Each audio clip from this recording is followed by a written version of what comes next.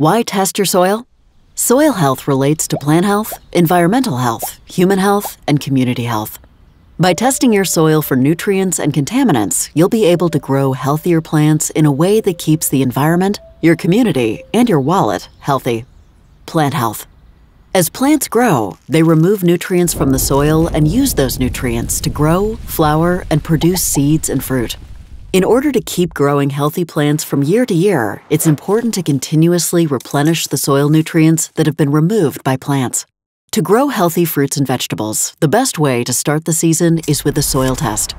This will give you a baseline for where your soil is in terms of organic matter, pH, and nutrients, and will help you choose the best balance of nutrients to add to your soil. Plants grow best when nutrients are neither lacking nor in excess.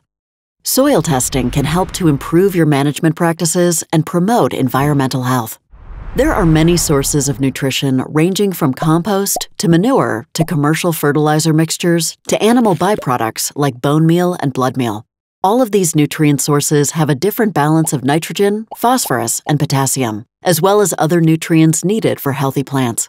By starting with a soil test, you'll be able to better choose the right type of amendments so that you add enough of the nutrients that are lacking, without adding too much of something that could cause problems.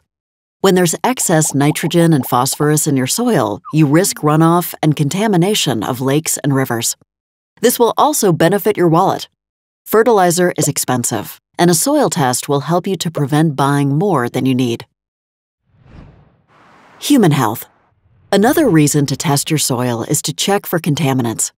In urban areas, near buildings, at busy intersections, and near former industrial sites, soils may contain elevated levels of lead.